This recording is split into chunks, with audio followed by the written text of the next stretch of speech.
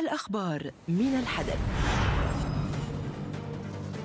العالم يتنفس الصعداء. نجاح جهود تعويم السفينة الجانحة والحركة طبيعية في قناة السويس. بسبب أدلة فاسدة فضيحة مدوية في مجلس الأمن تراجع عن اتهام الحكومة اليمنية بالفساد.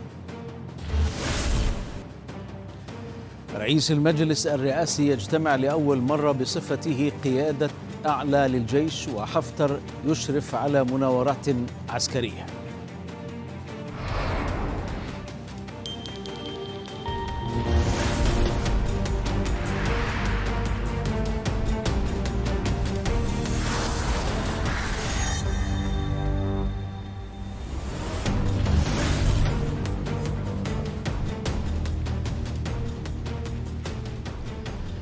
ساعة إخبارية من الحدث أهلا بكم.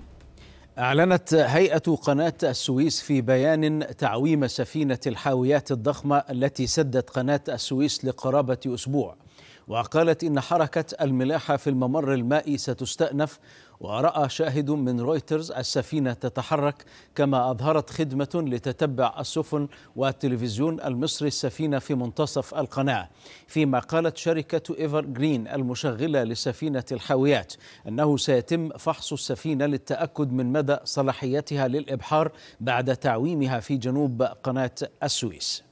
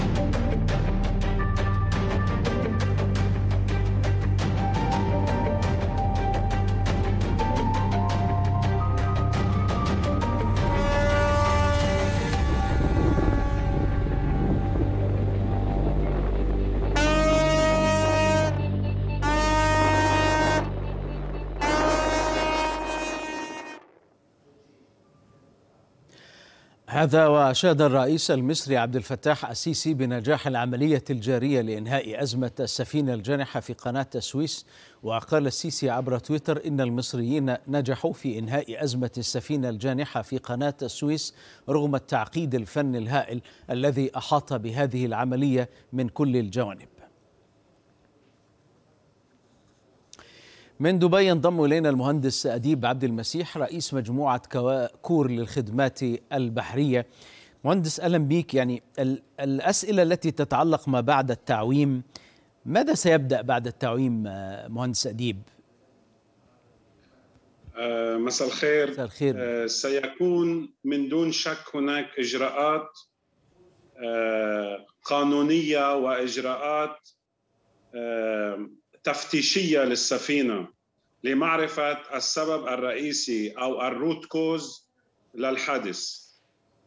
سيتم إرسال في العادة يتم إرسال مجموعة مفتشين اولا من هيئة قناة السويس ومن شركة التأمين ومن P and I Club الذي هو النادي البحري للملاك.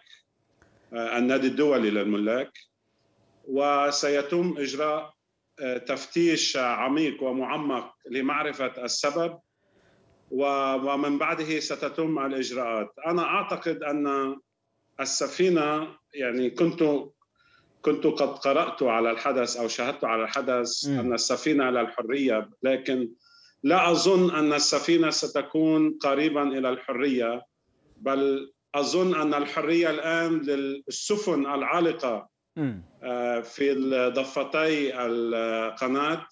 وهذا هو المهم تقصد إن من حق من حق مصر التحفظ على السفينة حتى انتهاء التحقيقات؟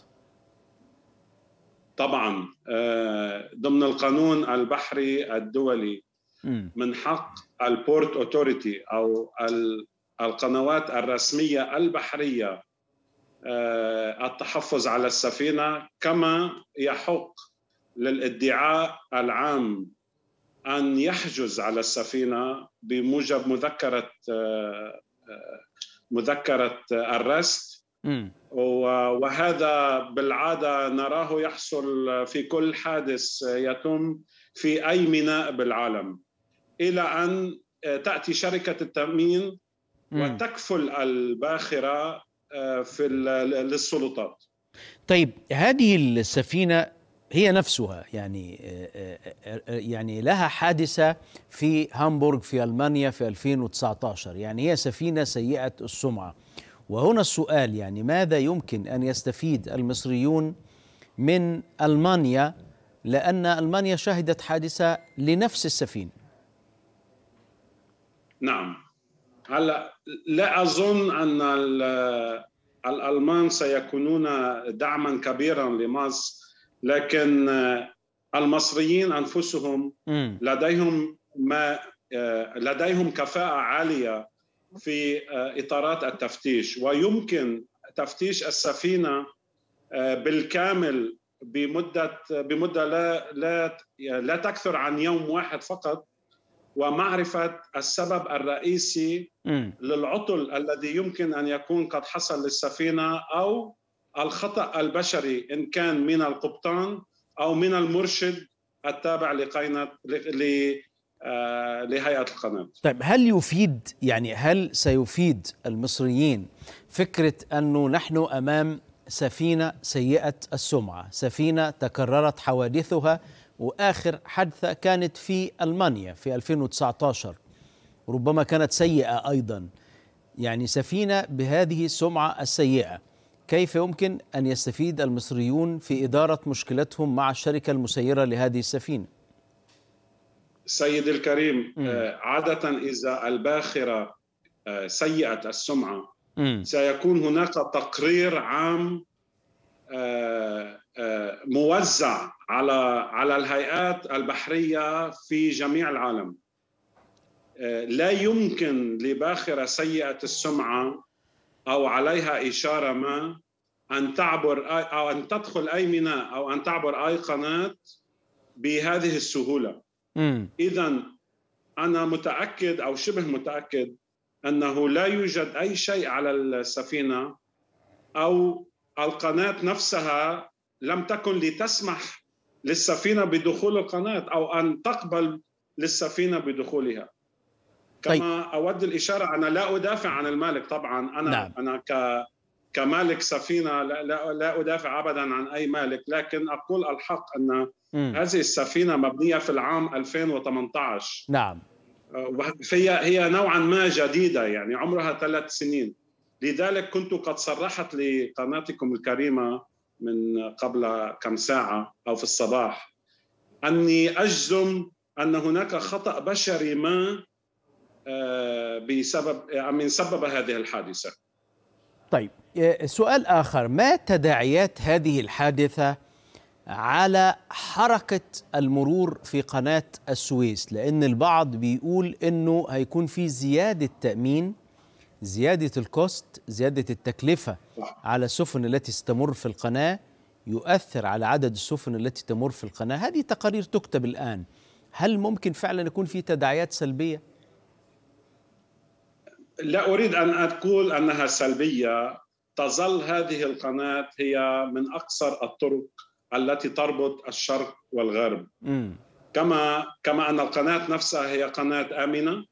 وهذا الحادث هو صراحة فريد من نوعه وهذا أول مرة نسمع بهكذا حادثة تحصل في قناة السويس. نعم. آه، اذا لا يمكن البناء على تداعيات كبيرة من وراء حادث واحد أو من وراء سفينة من أصل آه، آلاف السفن التي تمر سنويا عبر هذه القناة. يعني بشكل أحصاءات أو statistically نعم. آه، لا يمكن ان أن نقول أن آه، القناة سيئة أو أن العبور سيء في هذه القناة.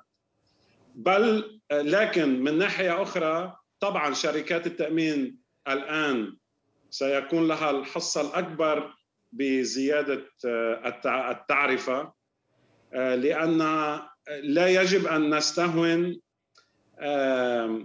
تداعيات التكلفة تكلفة الإنقاذ نعم. والتكلفة الباهظة لصاحب السفينة أو لتأمين لشركة تأمين السفينة من وراء هذا الحادث. اشكرك مهندس أديب عبد المسيح رئيس مجموعة كور للخدمات البحرية شكرا جزيلا لك. أقر يعني مجلس النواب اللبناني قانون استعادة الأموال المنهوبة المتأتية من الفساد وعلق رئيس المجلس نبيه بري على الأمر قائلا إن المجلس لم يترك قانونا يتعلق بالفساد إلا واقره مشددا على ضرورة تطبيق القوانين. وكان مراقبون قد أوضحوا أن إقرار قانون استعادة أموال الفساد ضروري لأنه يضع آليات تنفيذية لتحقيق هذا الهدف الضروري لتحسين الأوضاع الاقتصادية في لبنان. ويشار إلى أن القانون المذكور يحتاج إلى إقرار اللجنة التي ستتابع العمل فيه إضافة إلى إنشاء صندوق وطني للأموال المستعادة.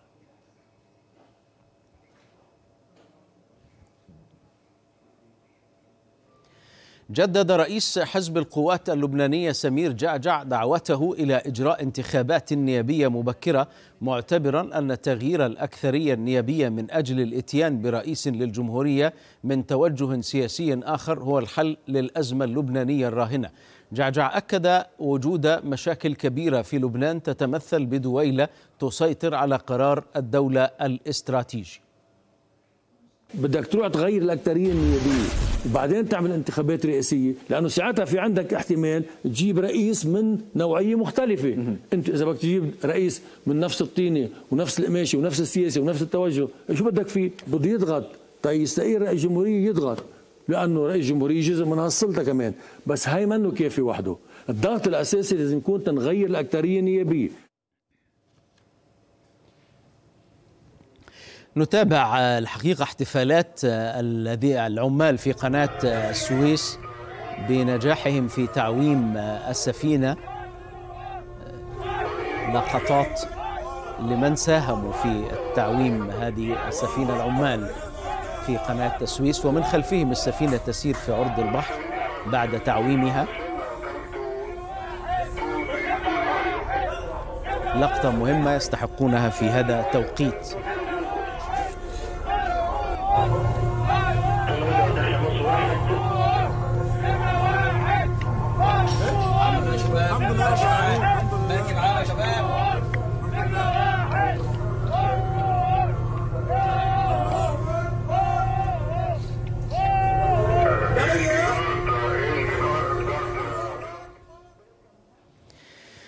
إلى استراحة قصيرة نكمل بعدها ما بقي في نشرتنا.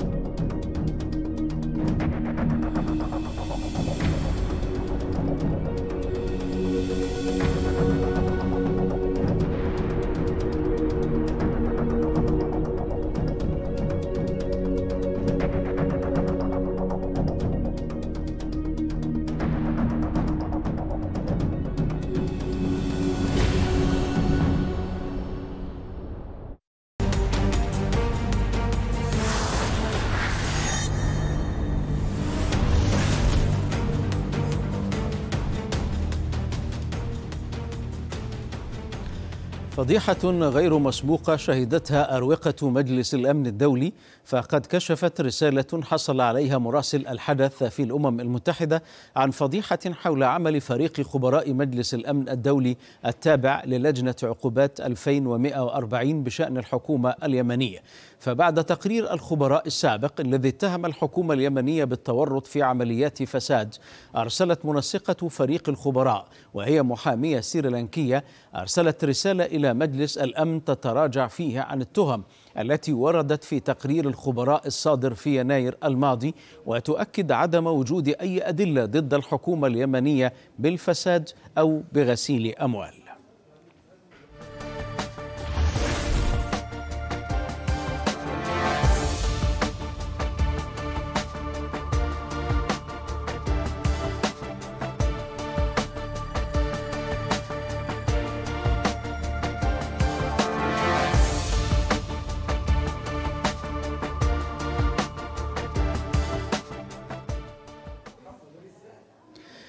ينضم إلينا من القاهرة الخبير الاقتصادي اليمني الدكتور عبد السلام الأثوري. دكتور عبد السلام أهلا بك.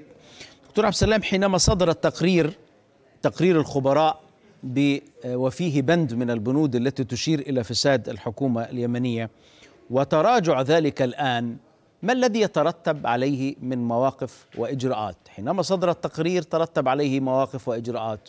حينما تراجعت المنسقة لهذا التقرير عن المعلومات السابقة المفروض يكون في إجراءات أيضا مترتبة عليها. ما الذي سيحدث؟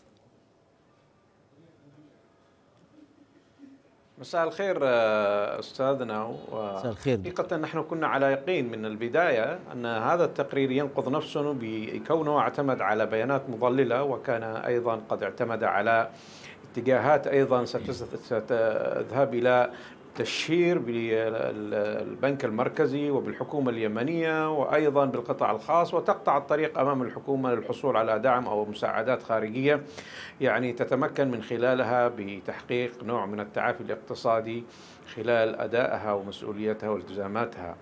الآن في هذا الأمر وخاصة عندما تم اكتشاف حقيقة أن هذا التقرير وبالذات فيما يخص الوديعة السعودية ليس هناك أي جوانب لتلك التهم التي وجهت بأنه تم من خلالها غسيل أموال وأعمال فساد وأيضا تم إقحام القطاع الخاص وخاصة مجموعة هيل سعيد. أنعم؟ كونها تعتبر أكبر الممولين للوضع الاقتصادي والتجاري والسلعي في البلد م. كان الهدف منه عملية إرباك وخلط الأوراق بهذه الكيفية وبالتالي عندما قام الأطراف الذين مولوا الفريق أو من خلال الشخص المختص في الملف الاقتصادي أو في الجانب الاقتصادي م. تم أيضا تمويله ببيانات مضللة وربما أيضا كانت الصياغة تم صياغتها وسلمت لهذا الشخص لإضافته في التقرير نعم. لم يكن له الدور الأساسي في صياغته وإنما جاءت الصياغة كما يعني نزلت في التقرير من أطراف ما إلى ذلك، هذه الأطراف المحرضة هي اليوم محل إدانة واضحة وبالتالي يجب التحقيق معها. وعلى الحكومة الآن اتخاذ يعني خطوات أساسية لفتح يعني ملف هذه القضية وفتح التحقيق مع هذه الأطراف التي أساءت وشهرت بالبلد وشهرت بالحكومة وشهرت بالبنك المركزي وأيضا أساءت أيضا للقطاع الخاص وأيضا يعني استهدفت أيضا مصالح المجتمع اليمني بما قامت به بعملية يعني بخفة من من من المواقف التي أيضا إلى كانت لها تبعات كثيرة جدا على أيضا مواقف الدول المانحة التي أيضا وجدت أن مؤسسة البنك المركزي تمارس أعمال الفساد وأعمال الغسيل الاموال وبالتالي فقدت ثقتها من لدى المانحين وخاصة أن المساعدات اللي كانت قدمت أساسا لمنظمات الإغاثة وما إلى ذلك كان هناك أيضا إجراء لمسألة مصارفة عبر البنك المركزي. الأمر الذي اتخذت هذه المنظمات للتوقف عن التعامل مع البنك المركزي. هنا هذه الإشكاليات يعني بما تسببت من خسائر ومسببت من أضرار كبيرة جدا على الحكومة الآن أن تخطو خطوة إيجابية في مسألة التحقيق مع هذه الأطراف. وعلى أيضا الأمم المتحدة أن تحقق مع الشخص الذي أساء. وأيضا اعتمد على بيانات مضللة. كان يدرك أنها بيانات مضللة أيضا. طب قبل أن تحقق دكتور عبد السلام خلينا نضع الأمر في إطاره. هذه مجرد رسالة أرسلت من المنسقة إلى مجلس الأمن تقول إن المعلومات خطأ وإن الاتهامات التي بنيت في هذا التقرير والمتوجهة إلى الحكومة اليمنية خاطئة. الحكومة لم تتورط في غسيل أموال ولم تتورط في أمور فساد. والأمر انتهى على هنا. هل يجب على مجلس الأمن أن يصدر بيان أو تقرير يصحح التقرير السابق وإذا لم يصدر ما فائدة هذه الرسالة من المنسقة؟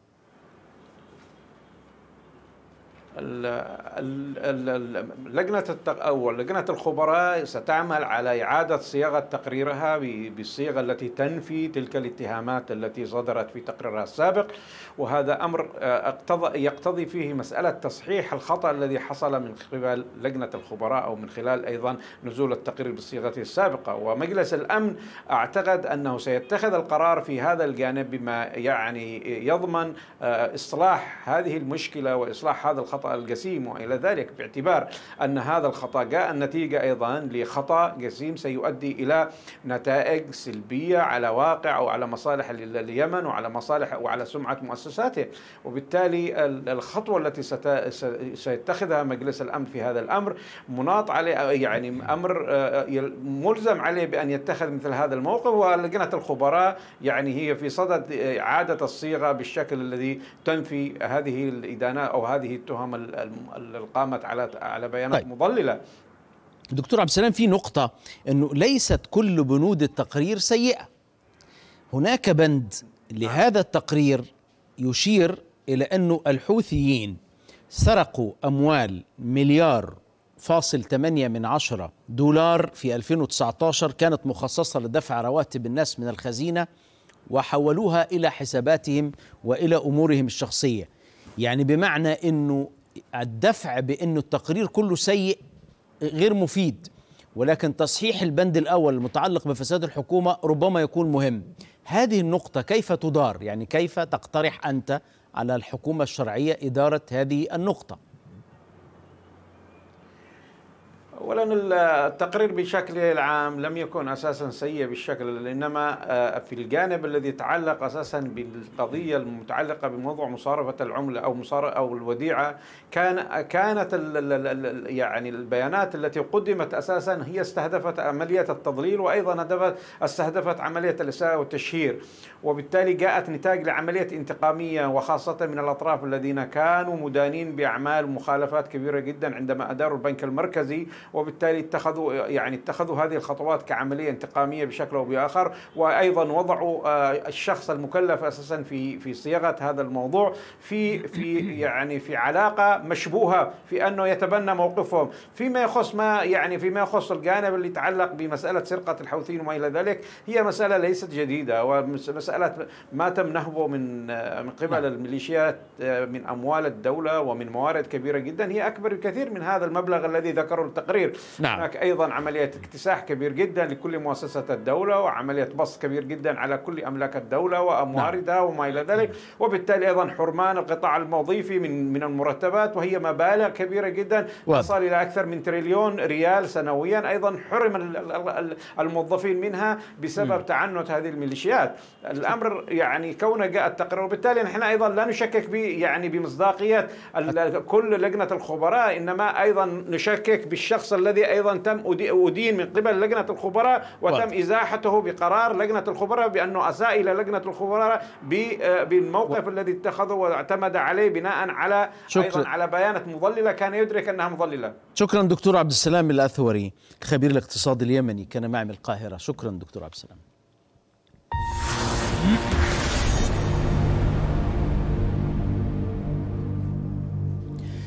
أكد المرصد السوري لحقوق الإنسان بأن شحنة أسلحة جديدة تابعة للميليشيات الموالية لإيران وصلت إلى مدينة الميادين بدير الزور قادمة من العراق. وقال المرصد إن الشحنة ضمت ثلاث شحنات تحمل خضار وفاكهة للتمويه توجهت في بداية الأمر إلى سوق الهيل في الميادين. وقال المرصد إن الشاحنات توجهت بعد سوق الخضار إلى منطقة المزارع أكبر تجمع للميليشيات في منطقة الميادين. وقال المرصد إن الشاحنات قامت بإفراغ الأسلحة ضمن أنفاق متواجدة هناك. كان تنظيم داعش يستخدمها. وقال المرصد إن الميليشيات تعمد إلى تخزين أسلحة وذخائر ضمن قلعة الرحبة الأثرية في محيط مدينة الميادين بريف دير الزور الشرقي.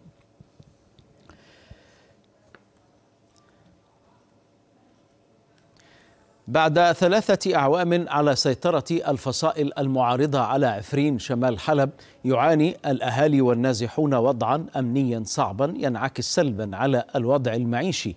كاميرا الحدث استطلعت رأي شريحة من المدنيين حول الوضع المعيشي والأمني الراهن هناك. صار لنا ثلاث سنوات تقريبا بعفرين. حقيقة عم نعاني من الوضع الأمني وضع سيء وخصوصا إغلاق الطريق الرئيسي شارع راجو عطل المصالح. يعني آه، الوضع العمل كل ماله يتدهور الأسوأ خلافات بين الفصائل أحيانا بتتعطل طرقات.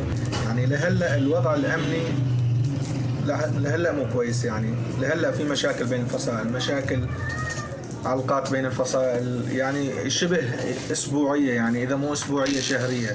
عم تروح ناس أبرياء عم تتعطل أشغال العالم بسبب هالمشاكل يعني. بالنسبة لنا بطلعتنا فوتتنا بالليل يعني في خوف.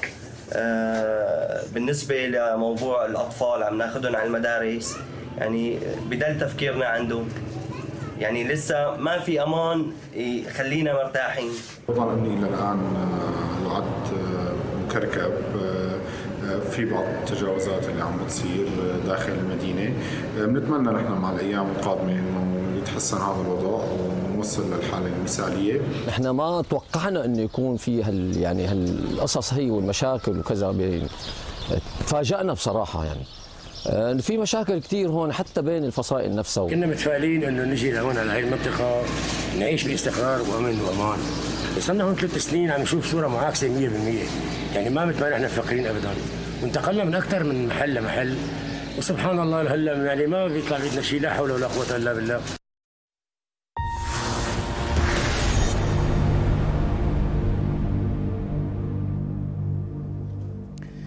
نقلت إذاعة إذاعة فرنسا الدولية عن مصدر في الحكومة الليبية أن رئيس المجلس الرئاسي الليبي محمد المنيفي قدم طلبا رسميا للرئيس التركي رجب طيب أردوغان بسحب المرتزقة السوريين والخبراء العسكريين الأتراك من طرابلس.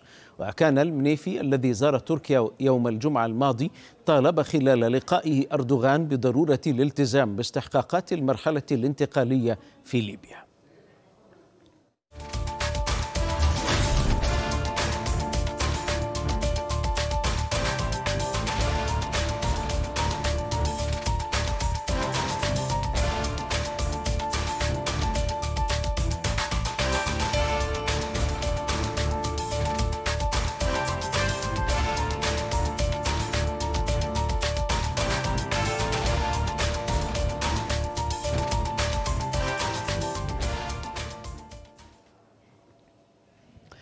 أكد السفير الأمريكي لدى ليبيا ريتشارد نورلاند اليوم أن بلاده تدعم أساسا دستوريا يسهم في إجراء الانتخابات في موعدها المحدد في الرابع والعشرين من ديسمبر المقبل كما أشاد السفير الأمريكي بملتقى الحوار السياسي الليبي حيث قال إن ذلك من شأنه تحقيق خارطة طريق تسهم في إنهاء الأزمة والمضي قدما نحو بناء مؤسسات الدولة. نفذت القوات المسلحة الليبية تمرينا عسكريا بحضور القائد العام للقوات المسلحة المشير خليفة حفتر ويهدف التمرين إلى محاكاة هجوم مضاد لصد هجوم معادي على منطقة افتراضية بمشاركة مقاتلات السلاح الجوي الليبي بالإضافة إلى فصائل عسكرية أخرى. وقد حضر التمرين رؤساء القوات المسلحة وبعض رؤساء الهيئات ومدراء الإدارات بالقيادة العامة وعدد من الضباط.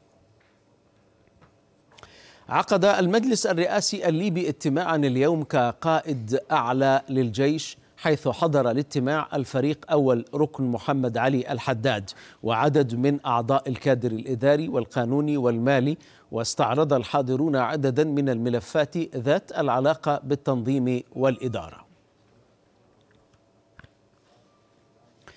معنا من بنغازي سعادة اللواء خالد المحجوب مدير إدارة التوجيه المعنوي في القوات المسلحة العربية الليبية سعادة اللواء ما الذي يعنيه هذا الاجتماع باعتباره قائد أعلى للجيش بدون حتى وجود السيد الخليفة حفتر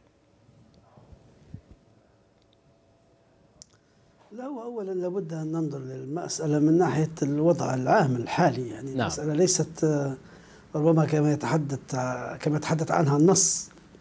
آه، الحقيقة تقول أن هذه الحكومة والمجلس الرئاسي آه، يسعى إلى أن يؤدي مهمته في أن تكون حكومة وحدة وطنية واستكمال إجراءات تتعلق بتنظيم المؤسسات وإدماجها والوقوف على حقيقتها وعلى وقعها ورغم أن ما نعرفه عن الواقع في طرابلس بالنسبة لما يعرف بحاولة تسميته جيش بالمعنى. نحن حتى عندما جلسنا في خمسة زائد خمسة كان هناك الحوار كالآتي القوات المسلحة مع حكومة الوفاق. ونحن نعرف أن هناك عسكريين طبعا محترفين آه، ضمن المؤسسة العسكرية منذ القدم. ولكن على أرض الواقع هناك شيء آخر وهذا لا, لا شك فيه. دائما زوايا النظر تختلف ولكن آه، لنكن آه، منطقيين وعقلانيين هذه الحكومة أو هذا المجلس يسعى الآن لأن يؤدي دوره ولكن لا تنسى أن كل آه، ما يجب في الشق العسكري هو يندرج تحت خمسة زائد خمسة. نعم. لأن اتفاق جنيف أو مخرجات برلين التي أدت إلى اتفاق جنيف كانت واضحة ولا وصريحة ولا غبار عليها أساس لديها أساسيات. أولا طبعا إجلاء المرتزقة والأجانب مكافحة الإرهاب اللي هو أيضا النقطة المهمة جدا تفكيك المجموعات المسلحة. وتفكيك المجموعات المسلحة معروف آه، يعني آه، كيف أدرج ولماذا وما هي المجموعات ومقسمة ومعروفة بحسب تقسيماتها الإيديولوجية.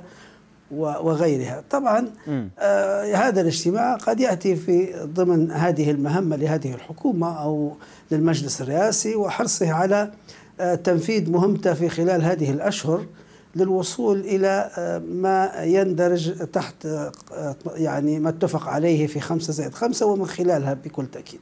طيب في في كلام كثير وتحليلات وتفسيرات حتى على السوشيال ميديا وغيرها بحضور الفريق أول ركن محمد علي الحداد يعني هذا الاجتماع يعني. نعم. يعني مسمى رئيس الأكس المسميات يعني موجودة مع احترامنا لشخصه يعني كبني آدم أو كضابط. ولكن هو بالتأكيد رئيس أركان على ماذا هي مجموعات مسلحة معروف تندرج. يعني ليست تحت السيطرة أبدا. آه. وهذه مسائل يعني واضحة للعيان ويعرفها العالم ويعرفها كل مواطن في طرابلس ويعرفها كل مواطن في ليبيا. هذه حقيقة لا يمكن إخفائها من الممكن أن تسمي مسميات ما شئت لكن هذه ليست الحقيقة على الأرض.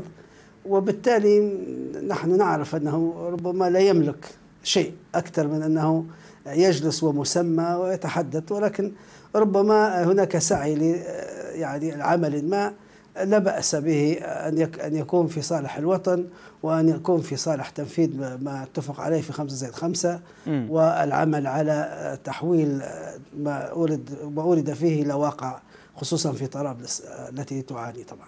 طيب رئيس الحكومة كان احتفظ بمنصب وزير الدفاع وبالتالي يعني ما بين ما يعلنه رئيس الحكومة بأن منصب وزير الدفاع معه بينما تم من المجلس الرئاسي الليبي في هذا الاجتماع في فجوة مش فاهمينها يعني تحتاج إلى إلى فهم يعني. هي المرحلة ما أنت عارف أنا قلت لك المرحلة حساسة جدا وحتى الكلمات فيها حساسة. لابد يعني ننقي كلماتنا بحيث تكون فعلا في مسارها نعم. الصحيح. آه، مسألة وزير الدفاع كما يعرف البعض وقائد العام ورئيس الأركان. وهذه الأمور طبعا المسميات لها مهام ولها واجبات وتختلف من إلى.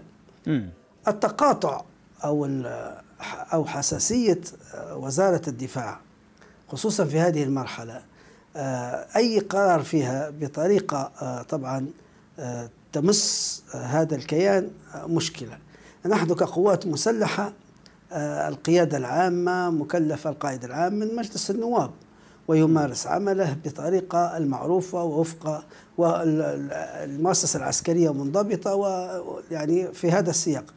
الإشكالية في أنك أنت تكمل آه، ما تم الاتفاق عليه في خمسة زائد خمسة آه، من تحت هذا البند لأن الدخول في متاهات أو التفسيرات آه، قد يعرقل أو يؤدي إلى الكثير من الحواجز التي من الصعب تجاوزها بالنسبة لهذه الحكومة التي ترى أنها حكومة وحدة وطنية يجب أن تؤدي دورها دون أن تخرج عن سياق ما اتفق عليه في جنيف وهو خمسة زائد خمسة لأن م. هذا الأساس حتى عندما سئلت النائب المبعوث السابقة عن هذا الموضوع قالت أن خمسة زائد خمسة هي من تملك المسار نعم. العسكري وهي التي لديها حسب الاتفاق. في جنيف خارطة طريق واضحة يجب المضي فيها. إذا العوامل أو الاتجاهات الأخرى أعتقد أنها مكملة لنجاح خمسة زائد خمسة وفق ما تم الاتفاق عليه وهو أن القوات المسلحة تؤمن البلد بعد تفكيك المجموعات المسلحة وإخراج نعم. المرتزقة والقواعد الأجنبية ومع احترامنا للجميع لا يمكن أن تكون هناك أجسام خارج السيطرة أو غير منضبطة ويمكن أن تقيم دولة أو تقيم سيادة. وبالتالي هذه مسائل منظورة أمامهم. ومن الخطأ الذهاب في اتجاه آخر معاكس لأن ذلك لن يأتي ستكون طريق مسدودة. طب الاجتماع النهارده يعني سامحني على هذه الأسئلة الحقيقة ربما هذه التساؤلات حتى بيطرحها الليبيون وهي فرصة إنك تجيب على ما يدور يعني. طب ماذا سعاده اللواء لو اتخذت قرارات؟ يعني اجتماع اليوم نتج عنه قرارات. هذه القرارات قد لا تكون مقبولة بالنسبة بالنسبة لكم. ما الذي سيحدث يعني؟ هل لا قدر الله ممكن يحدث من من صدام؟ ومن من وإلى من يعني؟ تخرج من المجلس الرئاسي هو أحادية الجانب الآن. بحضور رئيس المجلس ومحمد علي يعني الحداد وغيره ممن حضروا. نعم. تصب مثلا في في فيما لا توافقون عليه في القيادة العامة للجيش الليبي. لا يمكن الذهاب في اتجاه أحادي يعني في هذه المسائل المساله هناك واقع على الأرض وهناك كما قلت قلت لك اتفاق في جنيف وهناك دول راعيه للاتفاق وهناك اتفاق لدول تهتم أو لها علاقة بالشأن الليبي والمسألة نعم. يعني هناك رفض للمجموعات المسلحة على مستوى الاقليمي يعني ليست فقط القوات المسلحة من يعني تقول ذلك هناك معرفة إقليمية أن هناك مجموعات مسلحة وما إلى ذلك الذهاب بشكل أحادي طبعا هذه مسألة صعبة ولا نعم. أعتقد أن الدكتور المنفي من النوع الذي تغيب عليه هذه الأمور لأن المهمة ما أنا قلت لك كلمة مهمة جدا في البداية وهو أن عمل الرئاسي وعمل الحكومة يجب أن يندرج ضمن نعم. واتفق عليه في خمسة زائد خمسة وضمن مهامها وهو أن هي حكومة وحدة وطنية وتسعى إلى تأمين المناخ نعم. للانتخابات لا يمكن تأمين مناخ للانتخابات والذهاب للانتخابات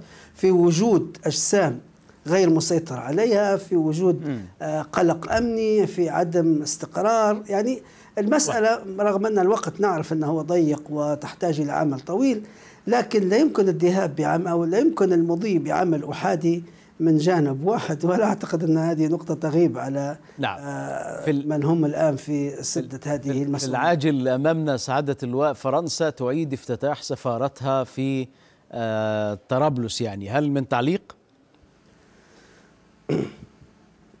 طبعا هو نحن هذه نعم. خطوات كلها مساندة للحكومة الوحدة الوطنية وهذه كلها خطوات مساندة لعمل جماعي من أكثر من دولة خصوصا الاتحاد الأوروبي الذي يسعى نعم. إلى استقرار ليبيا هناك ضرر سيأتي للاتحاد الأوروبي هم يعرفون خطورة ما حصل الهجرة الغير شرعية التي أدت إلى تسرب عناصر إرهابية. النشاط الإرهابي في الجنوب مع دول طبعا تحد في ليبيا وفرنسا تتابع هذا عن كثب. أمريكا نعم. يعني هناك تعاون معنا في هذا الجانب. يعني المسألة ليست سهلة. إعادة فتح السفارات هذه مسألة مهمة لدعم ما اتفق عليه. يعني ولمراقبة ومتابعة ما اتفق عليه حتى لا يكون هناك خلل ربما يؤدي إلى أشياء غير مرغوب فيها. أشكرك سعادة اللواء خالد المحجوب مدير إدارة التوجيه المعنوي في القوات المسلحة العربية الليبية. ونبقى مع هذا الخبر العاجل إعادة افتتاح سفارتها في طرابلس فرنسا بتعلن إعادة افتتاح سفارتها. هذه صور الحقيقة تأتينا أولية لإعادة افتتاح السفارة الفرنسية في طرابلس وكما علق اللواء خالد المحجوب فكرة إعادة اللحمة الأوروبية إلى طرابلس مرة أخرى آه، ربما ستكون فاعل مهم في آه، أساس ترسيخ الحل الليبي في آه، الداخل. أنتقل إلى شأن العراقي فقد أفاد مصدر أمني عراقي باستهداف ثلاثة أرتال لوجستية تابعة للتحالف الدولي في محافظة بابل جنوب بغداد وعلى الطريق الدولي المار بمدينة الناصرية مركز محافظة ذي قار فيما استهدف الرتل الثالث في محافظة ديوانية. وقال المصدر إن الانفجارات لم تخلف إصابات بشرية فيما تسببت بأضرار مادية في الأرتال. أشار وزير المالية العراقي علي عبد الأمير علاوي إلى نوع من التواطؤ بين أحزاب سياسية وعصابات ورجال أعمال فاسدين مشيرا إلى أن هذا النظام ككل يساهم في نهب الدولة وفق ما نقلت عنه وكالة الصحافة الفرنسية. في هذا الصدد كشفت مصادر في دائرة الجمارك العراقية بأن ملايين الدولارات تذهب إلى جيوب الفاسدين بسبب عمليات التهرب الجمركي بدلا من دخولها إلى خزائن الحكومة.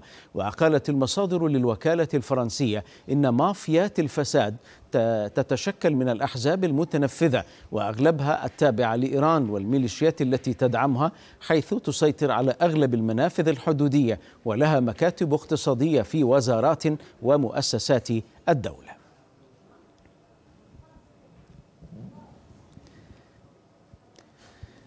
مزيد حول هذا الموضوع مع زميلتي هنا في الاستوديو هدير الربيعي هدير مساء الخير. ربما ملف ملغم بعض الشيء. نعم ربما هو هذا الملف. تصدر يعني أول أيام حكومة آه، رئيس الوزراء آه، مصطفى الكاظمي. تفضلي اذا آه، لنذهب إلى التفاصيل. هي أول الملفات التي طرحها رئيس الوزراء العراقي مصطفى الكاظمي منذ توليه المنصب هو معالجة شبكات الفساد في المنافذ الحدودية العراقية. وفي, وفي هذا الصدد أكد وزير المالية العراقي علي عبد الأمير علاوي آه تواطؤ بين أحزاب سياسية وعصابات ورجال أعمال فاسدين يسهم في نهب أموال المنافذ الحدودية وفق تقرير نشرته وكالة الصحافة الفرنسية. آه فرانس بريس ذكرت أنه على طول الحدود البرية والبحرية للعراق. آه، طبعا أنشأت هذه المجموعات شبكة معقدة ومتشابكة. الهدف منها أولا التهرب من إيفاء الرسوم الجمركية المفروضة على البضائع بكل أنواعها بكل أنواعها حيث آه، تشكل هذه الرسوم المصدر الأهم للعائدات خاصة أن اقتصاد العراق يقوم آه، أساسا على النفط وفي ظل ضعف القطاعين الزراعي والصناعي وغياب أي إمكانية للحصول على عائدات منهما تشكل رسوم الجمارك المصدر الأهم للعائدات العراقية. ووفق الوكالة الفرنسية أيضا وصف موظف في الجمارك هذه الشبكة المتداخلة بأنها أسوأ من شريعة الغاب. ففي البلد الذي يحتل المرتبة 21 في العالم في سلم الفساد وفق منظمة الشفافية الدولية تعتبر البيروقراطية المملة والفساد المزمن طريقا إلى امتصاص موارد الدولة على الرغم من محاولات الحكومة برئاسة مصطفى الكاظمي معالجة تلك الأزمة. لكن الحكومة المركزية لا تتحكم بالعديد من هذه الموارد التي تتوزع على هذه الأحزاب والميليشيات المقربة من إيران وتتقاسم السطوة على المنافذ الحدودية. وأدى ذلك وفق مسؤولين إلى نشوء نظام استيراد موازن عبر المعابر البرية وميناء أم قصر البحري الوحيد في العراق. تتولاه أحزاب وميليشيات مثل عصائب أهل الحق وحزب الله. وقال في هذا الصدد ضابط في المخابرات العراقية حقق في قضية التهرب الضريبي أن آه، إذا كنت تريد طريقا مختصرا أي آه، يخاطب فيها المستثمرين ويخاطب فيها المستوردين تذهب إلى الميليشيات أو الأحزاب وطبعا التقرير لوكالة الصحافة الفرنسية محمود. أشكرك هدير شكرا جزيلا. ملف مهم فعلا. نعم فعلا. والحقيقة نكمل هذا النقاش من بغداد. ينضم إلينا الأستاذ باسم أنطوان الخبير الاقتصادي. أستاذ باسم أهلا بك. أن يكون هناك فساد في رجال ال business ده شيء طبيعي موجود في دول كثيرة جدا. لكن أن تحدث المزاوجة ما بين رجال ال business والسياسة هنا يكون الدولة في أزمة خطيرة وهذا ما يحدث في العراق نبدأ بالبند الأول يعني المنافذ المنافذ الحدودية التي قد تشكل المصدر الأول للفساد المزاوجة ما بين ال business والسياسة نعم شكرا جزيلا تحياتي لكم وإلى مشاهدي قناة الحدث الفضائية. الواقع هذه مشكلة نعاني منها يعني. أنت تعلم يعني موازنة العراق تعتمد على مصدر يعني المصدر الرئيسي الأول هو الريع النفطي اللي يشكل ما يقرب من 90% أو أكثر. والآخر المصادر آه، غير النفطية واللي هي رسوم والضرائب ومن ضمنها طبعا هي آه، الجمارك وضريبة الدخل نحن للأسف الشديد يعني آه، تأخرنا في إيجاد تشريعات ملائمة نحن يعني يجب أن يكون لدينا منهاج استيراد ومنهاج الاستيراد يحدد السلع والبضائع التي تدخل العراق بموجب إجازة استيراد مصنفة هذه إجازة الاستيراد رقم الجمركي عدد الوحدات الوزن آه، التوصيف الجمركي. آه، موجودة هذه بدات يعني تنفذ إجازات استيراد إلكترونية. لكنه عمليا أنت عندما تدخل بضائع عبر الحدود اولا هناك 22 23 منفذ حدودي بالعراق رسمي. ربما يوجد ضعف هذا العدد غير رسمي. يعني تشوف أنت الاختراقات موجودة قسم منها عبر المنافذ غير رسمية نسميها إحنا بالعامية القشر أو التهريب. والأخرى تأتي عبر المنافذ الحدودية اللي كما تفضلتم سيطر عليها كثير من الميليشيات. آه، تدخل البضاعة تحت اسم معين وداخل البضاعة اسم آخر داخل الحاويات. فهذه مثلا حاوية بها بضاعة آه، مئة ألف دولار. يصرح بها بضاعة قيمتها عشرين ألف دولار. فأنت عاد تدفع 15% عن مئة ألف شيء طيب. وعد ما تدفع على 15 ألا يوجد يا أستاذ باسم ألا يوجد قانون مكافحة فساد؟ في في أصل أنت يعني قلت إنه في نقص تشريعات، هل الأزمة أزمة تشريعات ولا الأزمة معقدة؟ لأنه إذا فتح هذا الملف ربما يدخل رئيس الوزراء في عش الدبابير كما يقولون يعني. لأنه القضية لها علاقة بالكيانات بالتأكيد. السياسية الموجودة يعني.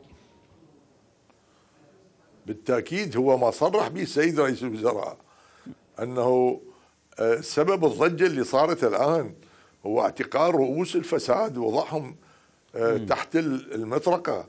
وهؤلاء يمثلون ميليشيات غير رسمية منتمية إلى أحزاب وهي اللي تبتز وتسيطر على الإيرادات. يعني إحنا 10 مليارات 10 تريليونات دينار إيرادات لكن لا يستحصل أكثر من تريليون ونص تريليونين دينار من المنافذ الحدودية. لأن المنافذ الحدودية وبعدها تأتي ضريبة الدخل هذه العملية لا تدفع بشكل جيد.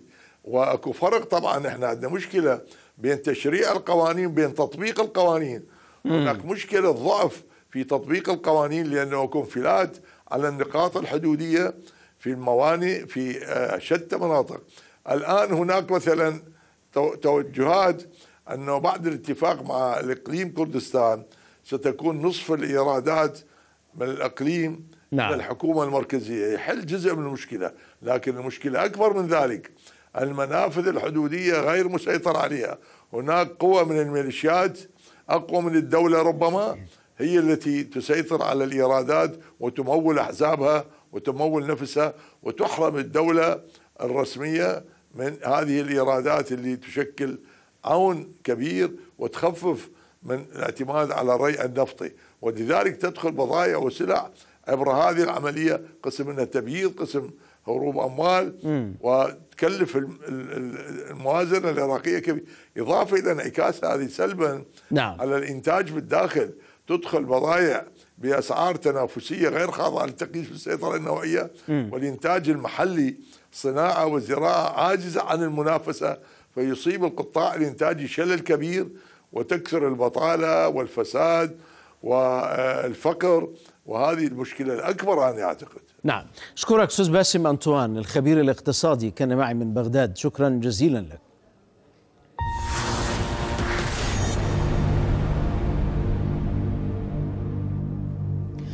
حذر قائد فرقة غزة في جيش الاحتلال من أن حماس تراكم قوة عسكرية وتطور قدرات قتالية برا وبحرا وحتى جوا استعدادا لمواجهة عسكرية يمكن أن تندلع بسبب حسابات خاطئة أو تطور حدودي أمني ما بحسب المسؤول العسكري الإسرائيلي. على الرغم من الهدوء النسبي الذي يسود قطاع غزة آه، واستكمال بناء الجدار فوق وتحت الأرض إلى أن قائد آه، فرقة قطاع غزة في الجيش الإسرائيلي يحذر من إمكان اندلاع حرب على هذه الجبهة ومن أن حماس تخطط عمليا لإدخال قوات نخبة إلى داخل المستوطنات والثكنات العسكرية بالإضافة إلى المسيرات المفخخة وأيضا القدرات داخل البحر وعليه تبقى حالة تأهب كما يمكن أن نرى من خلال الدبابات الدبابات الإسرائيلية قائمة على الأرض بشكل متواصل نرى كل شهر المسيرات من قطاع غزة تخترق المجال الجوي الإسرائيلي ومؤخرا اكتشفت منطقة عبور ملاصقة للحدود هذه التطورات تبقي الأمور قابلة للانفجار والجيش يستعد للمواجهة لأن غزة سريعة الاشتعال دائما وتخشى إسرائيل أن تكون جبهة قطاع غزة جزء من حرب متعددة الجبهات بحيث يتم إطلاق صواريخ على إسرائيل من كل الجهات. ولهذا عمليا نشرت الجيل الجديد من القبة الحديدية في المنطقة الجنوبية خشية من إطلاق صواريخ باليستية من اليمن أو مسيرات بعد أن تم تطوير القبة الحديدية في هذا الاتجاه. بالإضافة إلى ذلك أطلقت من جديد مشروع الاعتراض الصواريخ بواسطة الليزر. زياد حلبي الحدث حدود قطاع غزة.